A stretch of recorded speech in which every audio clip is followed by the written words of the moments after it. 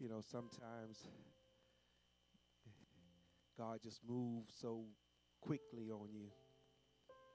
And um, this morning it was in our leadership class, and and we was talking out of the book of Genesis, the ninth chapter. And I want to go there because I, want to explore a little bit more. And my topic today is harvesting, harvesting the grace, harvesting under grace, or gathering, harvesting under grace. Genesis 9th chapter, verse 20 through 27. We're going to stand for the first verse. You may be seated afterwards. But harvesting under the grace. And Noah begins to and began to be an husband, and he planted a vineyard. You may be seated, praise God. And he planted a vineyard. And then the Bible say he drank of the wine, verse um, 22. I'm 21, I'm sorry. And he drank of the wine and was drunken. And he was uncovered within his tent. And I want to pause there for a moment because, you know, a lot of time we have given Noah a bad rep. You know, I heard a song saying, and Noah was a drunk. But the Bible doesn't say that. The Bible say he drank of the wine and he was drunk. It doesn't say that uh, Noah was drunk any other time. So how do we got him being a drunker and being just drink got drunk one night? He drunk of the he ate of the first fruit. He tasted of his vineyard. And uh, can you imagine being on a ship for all these months and then all of a sudden you ain't had nothing and then you drunk a little bit? It's like Janelle right now. She drank a little bit of wine, and it'll go straight to her head. Why? Because she hadn't drunk anything in five years, right? But yet, still, a lot of time people want to label you to your worst moment. Wish I had an amen somewhere up in here. He's saying he drank of the wine and was drunken. If you drink enough wine, you won't get drunk too. But that don't make you a drunk. Now, if you keep on drinking of that wine, then you become a drunk. Oh, Lord. Okay. So I just think he was misrepresented, uh, him being a drunk. And, and guess what? Him being drunk wasn't a sin. Because this is before the law. Moses hadn't come to establish the law yet. So y'all need to be Bible scholars a little bit. Y'all, y'all, y'all, y'all got to read in context. He said uh, he was not a drunkard yet, but he got drunk from the wine. Bible say in Genesis 6 and 9 that Noah was a man and he was perfect in his generation. And Noah walked with God. Do that sound like a drunkard? leave that alone then. Praise God. He said, These are the generation of Noah. And Noah was a just man and perfect in his generation. And Noah walked with God. A lot of time we like to we like to make people into their worst moment. Into their worst failure. Oh, come on, hallelujah. Just because they mess up once don't mean they're gonna mess up always. But because you don't put a label on them, you look for them to mess up. Hallelujah. Praise God. But watch this. Let, us let's go on. Let's go on. Go on. So, why do we look for the worst off a single incident? Because we always thinking that people can't be better than their worst moment. But if that the case, you will never be saved. We all had had a worst moment in here. And thank God we didn't remain there. Come on, hallelujah. I heard someone say, I, had a lot of worst moments. And thank God I ain't labeled by all those worst moments. Thank God the blood, grace, covers me. And here's the part. Watch. Go, go back. Go, go to verse 3. Go 23. I'm, I mean 22, sorry. And Ham, the father of Canaan, saw the nakedness of his father and told his two brothers without. So Noah wasn't sinful, but Ham was. And reason why Ham was sinful is that Ham exposed his father nakedness. In other words, it's the sinful, he revealed the sin of it, and he exposed someone's weakness or they're vulnerable, and that made it sinful. Instead of covering him, he exposed him. That's, a, that's the problem with America now. That's the problem with people right now. They rather expose you than cover you. They don't want to pray. They don't want to help. They don't want to minister to you. They want to condemn you.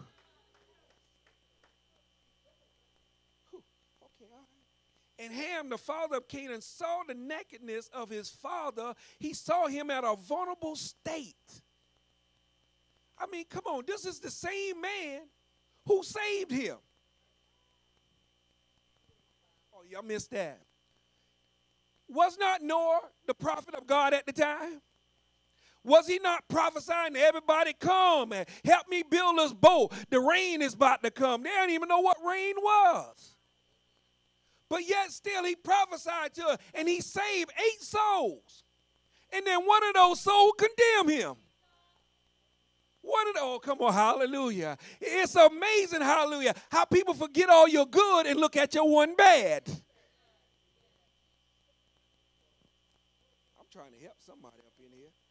Because we harvesting under grace. You can't harvest if you ain't walking up under grace. How you expect to draw souls to the kingdom of God if you don't walk up under grace? But watch this. And Shem and Japheth took a garment and did what? Laid it upon both their shoulders, and they went backwards and covered the nakedness of their father. And the reason why they went backwards, because they was remember him when he was upright. Mm, come on, backwards. He was they were walking backwards. That means they were looking not at what he was doing then, but what he had already done. Mm. You got to change your focus. Tell someone change your focus. You got to see where God want them to be at, not where they are right now. Now I'm going to get to that in a moment. It's going to bless you. I promise you, it's going to bless you. And the and cover the nakedness of their father, and their face were backwards, and they saw not their father nakedness. In other words, they didn't see the vulnerability of their father. They didn't see the weakness of their father. Hallelujah. They saw that their father brought them through a storm, brought them through a, a, a flood. Not that he went and drunk some wine off his own vineyard. Now, don't take this the wrong way, me telling y'all go get drunk. Let's clear all that up. This is this is not uh, my approval on you going out there and buying you some wine. See, there you go. Somebody will run off and hurt. That's the only part that hurt. They, they forgot about the part now later on that Noah was used as an example. Amen. Hallelujah. That when you get too much wine in you, it'll mess you up. Oh, come on. Hallelujah. It'll make you weak. Ooh. And so Noah woke, watch this, and Noah woke from his wine. Hallelujah. In other words, he came up out of what he was weak in. But see, what you done done is you done condemn him so you never seen when he came back up. And Noah walked from the wine and knew that his younger son had done unto him what his younger son had done unto him. In other words, you know when somebody been talking about you. When you fell on low tide. Because when they see you like, oh, you still alive? I thought you was dead. So you were out there spreading that I was dead when I was still alive. You wasn't praying for me and he knew something had happened, that the relationship had changed. Oh, when you start talking about folks, folks know when you're talking about them. And you try to smile up in their face and act like you don't know. They know you've been talking about them. You need to check your mouth. Because diarrhea come out. Let that graphic go into your head for a moment.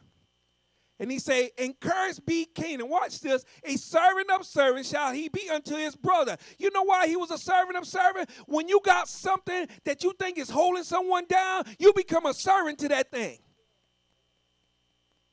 When you got a lie on somebody, hallelujah, you got some hot news on somebody, you become a servant to it. The person will move on and you still stuck there. You can't get beyond it. I'm helping somebody. They might don't want to say amen, but I'm helping. Praise God. Watch this. And Canaan shall be his servant. Hallelujah. Because you're a servant to seeing people at their lowest point. Hallelujah. Not at exalted point. You can't see beyond where God want to take them at. You can only see them at their present state. But I see you greater than where you are. What need of me praying for you if I can't see you better than where you at now? I'm praying against my prayer. If I'm always looking at where you are now, I know I used to be in that spot too, but I done moved on. Watch this. And God shall do what? And he say, Blessed be the Lord God of Shem, and Canaan shall be his servant, right? And then he goes on and say, God shall enlarge Japheth, and he shall dwell in the tent of Shem, and Canaan shall be his servant. Hallelujah. So all those people who talking about you, they're going to end up serving you. Just trust God in the situation. You ain't got to fight that battle no more. Let God fight it for you. You just repent and go on. And leave people to worry about what you repenting on to themselves. Now, now, now, now, now, now. I'm almost finished. Watch this here. I, I, I, God give me revelation. I don't know how He works with y'all, but whatever I'm doing, He shows me revelation.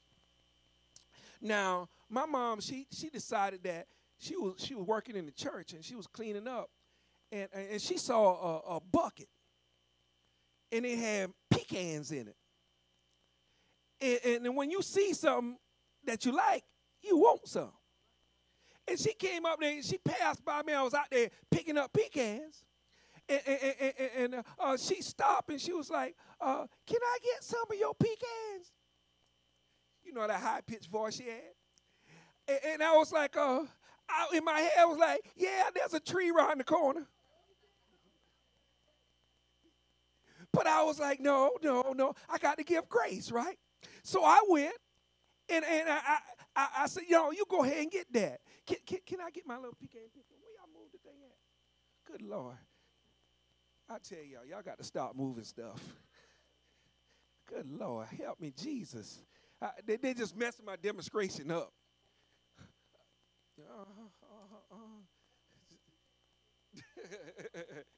so I'm out there picking up pecan, and she trying to take some away.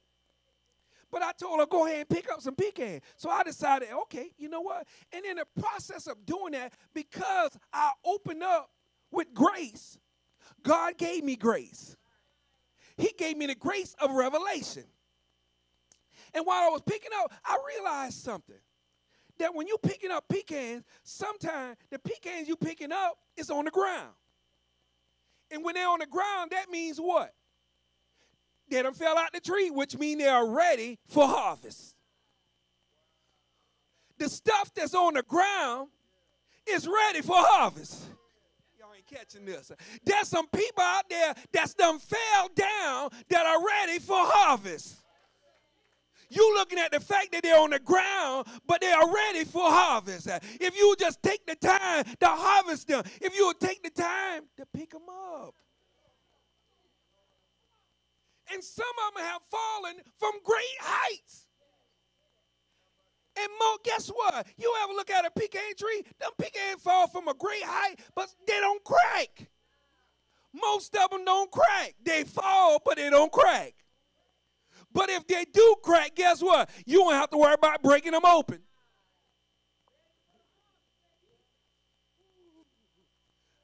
But then there's another revelation he gave me. He said the higher the fall, the more likely they are to break. So don't exalt yourself so big, hallelujah, that when you do fall, hallelujah, you will break. The one at the top of the tree more likely going to break than the one at the bottom of the tree. Mm. Whew. All right. But then he showed me another thing, uh, uh, uh, uh, Brother Joseph. He said, they blend in the surrounding. When I'm out there picking up pecan, sometimes I walk over them. Now I'm looking for them now. Watch this. I'm looking for pecans, but then I walk over them. I have to take another angle in order to see it.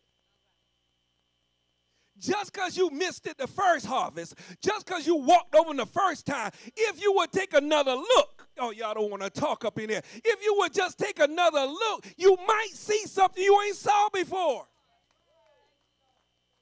Well, I done went to all my family members. I done went to everybody on my job. Well, it's time for you to go around again. I was walking around and I done picked up and I was like, okay, these are all the pecan. I don't see any more. But I had overlooked them. And the Lord said, look again. And when I look again, I picked up more than I picked up the first time. Because I'm walking up on the grace. If someone was out there, hallelujah, that will walk out one more time, hallelujah, maybe you would have found me. Hallelujah. If you walk out there one more time, maybe you'll find that person who needs you.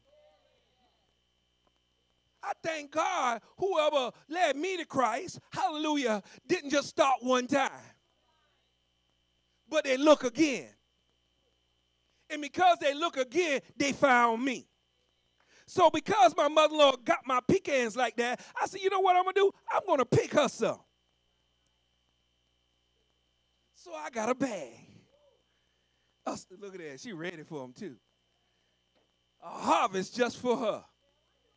But guess what? Hallelujah. Because I picked up the pecan, give me Matthew's 9th chapter, verse 37 and 38. And he said, Then say he unto the disciple, The harvest truly is plenty. Is there's a lot of folks on the ground. There's a lot of folks in vulnerable state. There are a lot of people that's in weakness. There are a lot of people who fell down and waiting for you to come pick them up. He said, The harvest truly plenty is, but the labors are few.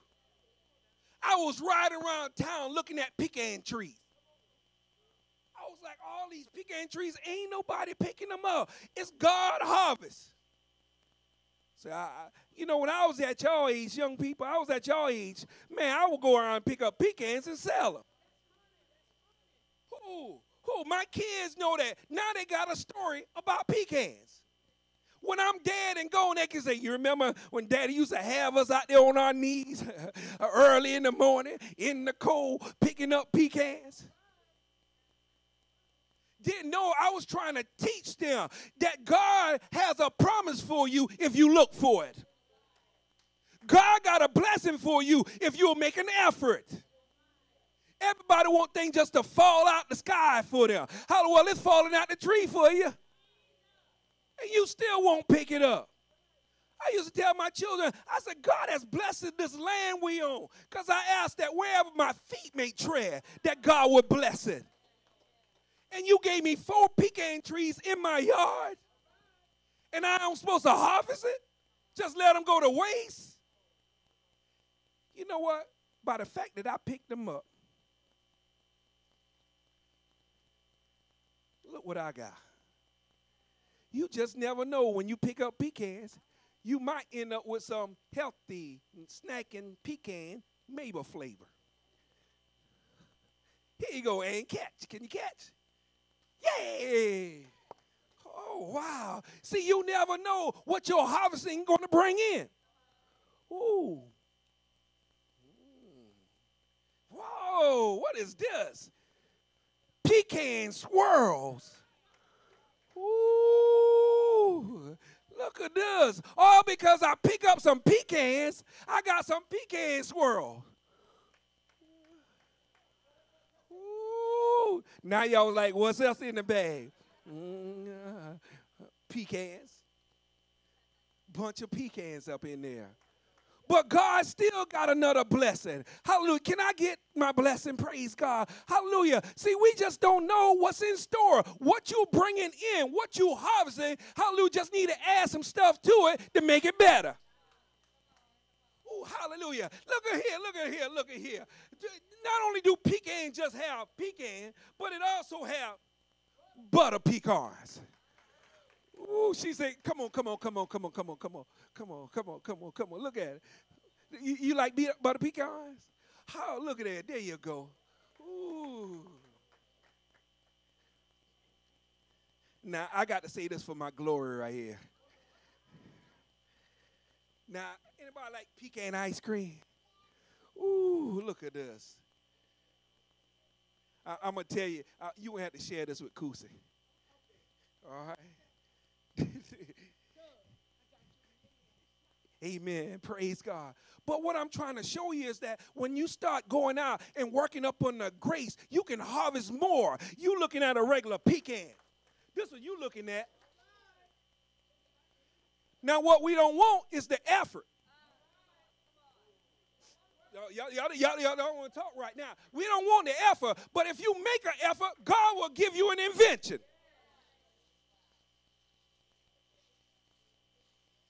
Look at us. Go ahead and pick them all up just like that. And then you just dump them over. But you worry about, oh man, all them pecan got pick up. I want some, but I don't want to pick none up. Y'all want the church to be full, but you won't go harvest. You don't want to talk right there. You want some souls to be saved, but you don't want to do nothing. Oh, oh, oh, oh, I, I want the pecan squirrel. Or I want a maybe a pecan. I, I want the ice cream. You want all this stuff. But if you go out there and harvest, you don't know that's what you're harvesting.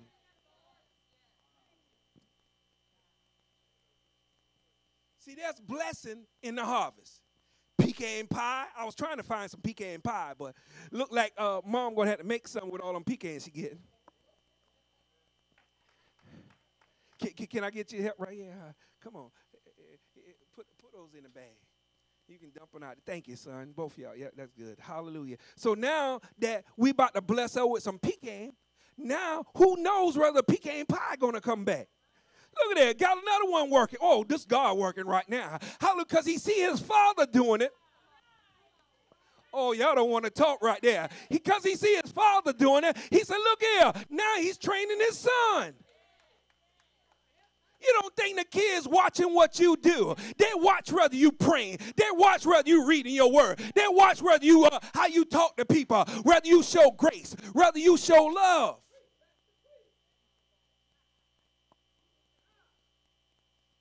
Look at it. It was like, is there any more to do? Come on, we got some more to pick up. That's how God wants us to work. You don't know how you can inspire somebody else by you going out on faith and walking up under the grace you already received. Give me something quiet. I'm not finished right now. The Lord said the blessing was that there was pecan pie, but you couldn't see the pie. There was pecan praline, but you couldn't see the praline. There was pecan swirls, but you couldn't see the swirls. There was pecan ice cream, but you couldn't see the ice cream. Only thing you saw was the work but the harvest was ready for you. When I look back and, and, and I see this, I saw that Shem and Japheth, they ministered grace to their father. People are going to fall from great levels, from different levels. Each pecan fall from a different level. All pecans are not on the same level. And you can't treat them all just the same. Just know that they're ready to be plucked. Just know that they're ready to be harvested. Only thing you have to do is gather it. When you got them pecans in your mouth, you don't care where they fell from. So why are we judging folks based on where they fall at? If they fell in alcoholism, if they fell in drug, if they fell in promiscuous sex, they fell in betrayal, they fell in hurt, they fell in depression, they fell in suicidal thought, they fell in all these things, but yet still you judging them instead of picking up the harvest by the grace God has given you.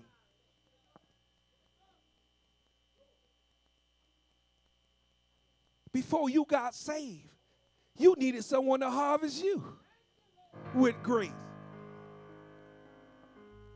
Yes.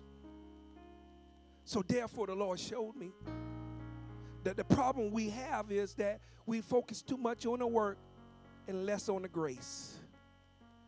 if grace was given to you, you should give grace back out.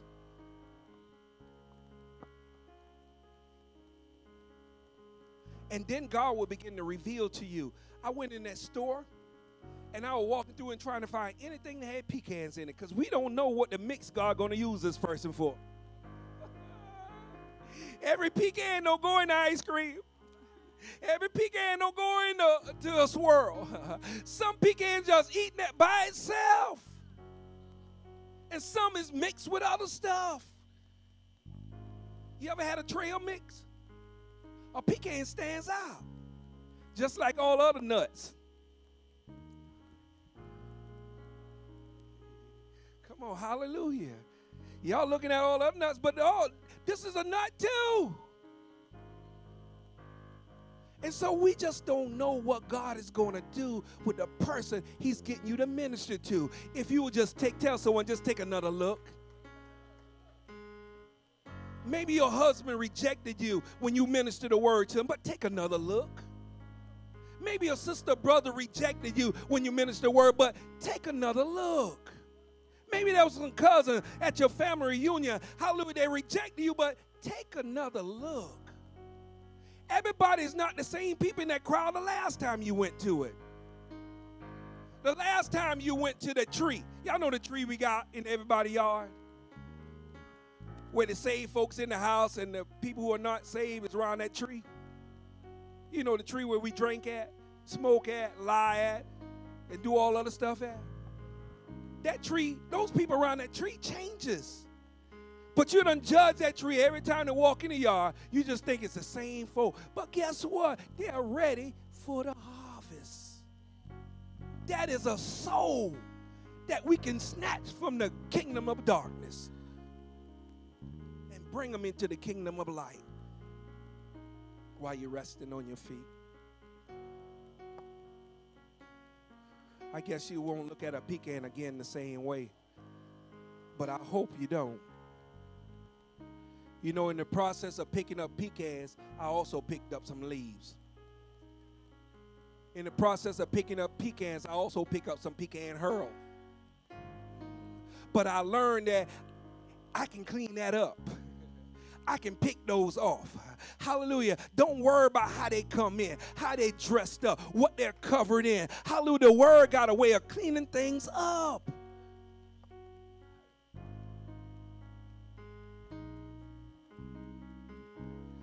One thing I learned about pecans, if you ain't got a tool to pick them up, you got to get down on your knees.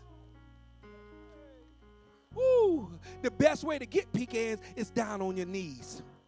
I ain't talking about natural, I'm talking about spiritual right now. I'm talking about soul. The best way to get them is down on your knees, pray to the Lord God, ask Him to direct your footstep where you need to go, order your footstep to the people you need to minister to, and He will direct your path. And when you walk over him, he'll tell you to turn around. And you see from a different angle. It's amazing I walk over the same pecan several times before I pick it up. But I come to tell you, I picked it up. I may have walked over you before, but I pick it up now. Hallelujah. I might have missed you the last time, but I pick you up now. And that's how you need to have that mindset. Look here, I might have overlooked you the last time. Thank you, Holy Ghost. Hallelujah. I was inside a manufacturing facility and I was walking from the engineering department and I was going out to lunch. And there was this young lady, hallelujah. She was over there working on a sander and I was passing through. And every more, every day when I go out, I'll be witnessing someone because I'll be praying, Lord, put someone in my pathway, put someone in my my pathway that I may minister to. And I was on my way talking to someone. And one day the girl came up and she said, I got a question for you. She said, Why you ain't never stopped to talk to me? I said, I, I said, I apologize. Hallelujah. I didn't realize I had offended her. She said, You talk to everybody else about Christ, but you never came to talk to me. This young lady end up getting saved in that same year. Next, before the next year she done marry a minister, and they in the church ministering the Lord. But here I'm passing over a pecan. because it didn't look like the other pecans. Oh, y'all don't want to talk right there. I already had my prejudgment about this particular person and didn't know this woman started leading other folks to Christ. We got, we, we, we got to take that mindset off. When you come up under grace, let grace cover you. Let you see people through grace eyes. He loved us when we didn't even love ourselves. Before we even knew him, he loved us. Even when we was in our sinful state, he loved us. He didn't look at us in all our mess, but he said, I can see through your mess. Hallelujah. If I just clean you up. That's the God we serve. Who else would send his only begotten son for us? Because he saw ice cream. Then he saw a little swirl. He saw a little praline. If I could just get Patricia, she's just a praline. You see them pretty praline eyes? Just don't know how God want to use you. If this word has found you, the Bible said the harvest is plenteous, but the laborers are few. If you feel like you're a laborer and you have not been laboring, come to this altar. He said, Well, who's supposed to be laborers? The Bible said, Go out into the world and preach the gospel to every creature. So that means that all of us should be laborers. If you're not laboring like you should be laboring, come now.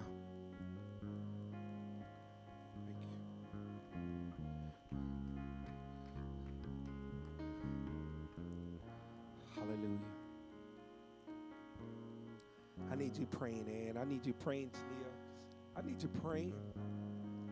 Hallelujah. As my wife is anointing. We're going to break off that slowfulness, that procrastination. We're going to pr- break off that condemnation, that judgment attitude. We're, go- we're going to break that. We're going to break that in the mighty name of Jesus.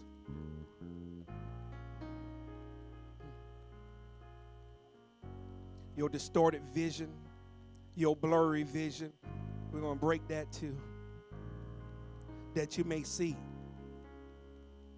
not by sight, but by faith of what God want to do.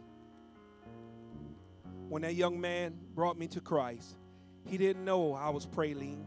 He didn't know whether I was swirl or not. He didn't know whether I was but a pecan or not. He didn't know what I was, but he knew I was a pecan that God wanted to harvest. He didn't come with any pre- preconceived idea of what I was supposed to be. He just know I need to be in the kingdom of God. Raise your hands around this altar. It's never too early to begin to minister for the Lord. It's never too early to draw into the Lord. First and foremost, Father, forgive us of our transgressions. There may be someone that's around this altar right now who needs to repent and ask you to come into their hearts and transform them. That they may receive Jesus Christ as their Lord and their Savior. And they need to believe that He died for their sins and was resurrected on the third day. And believe that He is resurrected now in their hearts and they will renounce the hidden things of dishonesty, darkness, cast it out of their life right now, Lord. And let them always gravitate towards the light. Pour into them, Lord, your anointing, your Holy Spirit.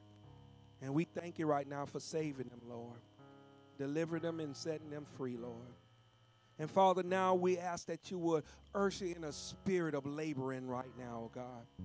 You call us to be servants, oh Lord. You say the laborers are few, but the harvest is plenteous. There's more unsaved than there are saved folks, Lord. And we thank you right now, oh God, that you will stir up the gift within us, oh Lord. that we would have a compassion for people, Lord. Not to judge them, oh God, because we have all sinned and come short of the glory of God. But Lord, we thank you right now, oh God, that we won't look at them through blurry vision, oh God, but we'll look at them the way you look at us, oh Lord. That you forgive us even though we were in sin, Lord. We thank you right now, oh God, for transforming our minds right now, oh God. That when we look again, oh God, we'll see them as you saw them, oh God. Not like the man who saw men as trees, oh God, but see men as men, oh God. God, I thank you for them being able to see that it's a soul that needs salvation. It is a soul that needs deliverance. It's a soul that needs healing, Lord. Lead them right now, God.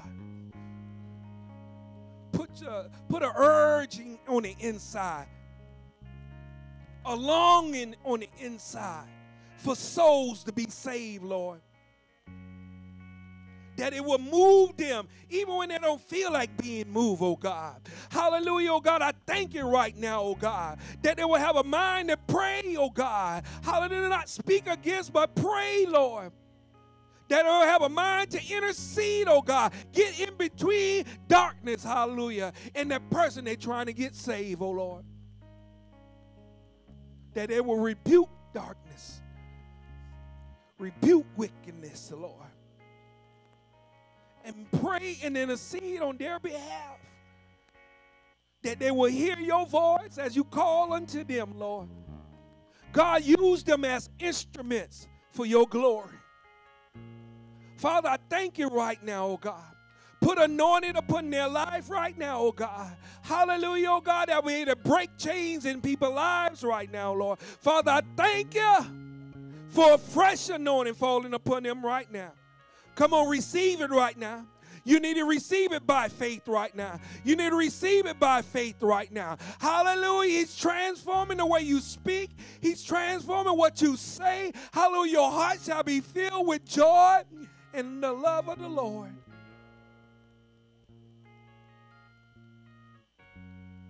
Renew within them the right spirit, Lord.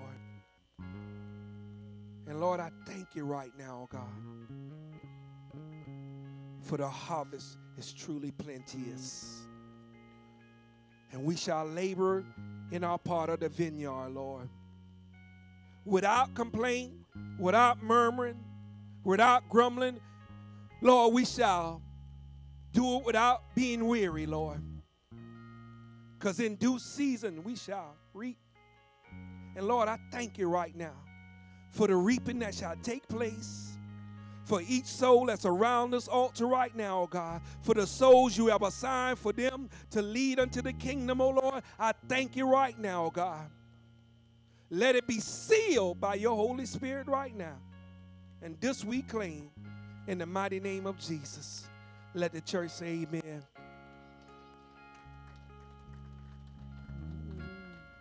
Yes, Lord.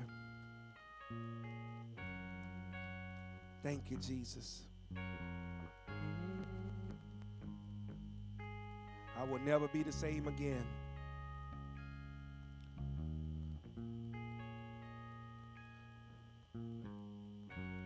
Zacharias, y'all know him?